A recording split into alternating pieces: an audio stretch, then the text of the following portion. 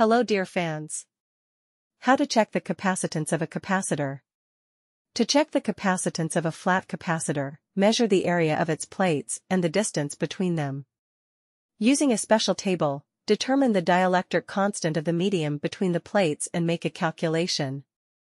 To check the capacity of an arbitrary capacitor, connect it to an alternating current circuit with a known frequency, take the required readings, calculate it using the formula. It is necessary. Ammeter, voltmeter, ruler, vernier caliper, dielectric constant, table of various media. Instructions. Step 1. Checking the capacitance of an arbitrary capacitor measure the capacitance of the capacitor in this AC circuit. To do this, assemble a circuit consisting of a capacitor and an ammeter. Connect a voltmeter parallel to the capacitor. Connect the circuit to a known frequency AC power source. Read off the current in amperes, ammeter, and voltage in volts, voltmeter. Divide the voltage by the current and get the capacitance of the capacitor, XC equals U slash I.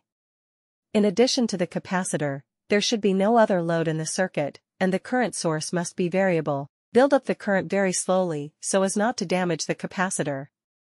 In order to find the capacitance of a capacitor, divide the number 1 by the value of the capacitance, the frequency of the current in the circuit and the number 6, 68, C equals 1 slash XCF6, 28.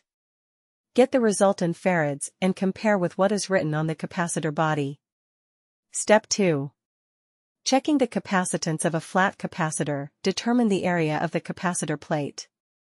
In the vast majority of cases, the plates of such capacitors are round, so measure its diameter in meters, square it and divide by 4, and multiply the result by 3. 14. If the plate is a rectangle, multiply the width of this rectangle by its height. Using a vernier caliper, measure the distance between the plates of the capacitor and convert it to meters. Step 3.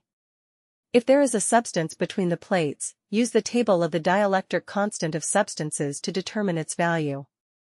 If there is nothing, consider it equal to 1.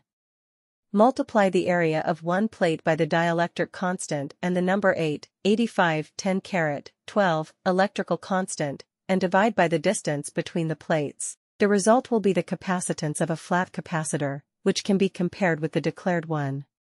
Thanks for watching.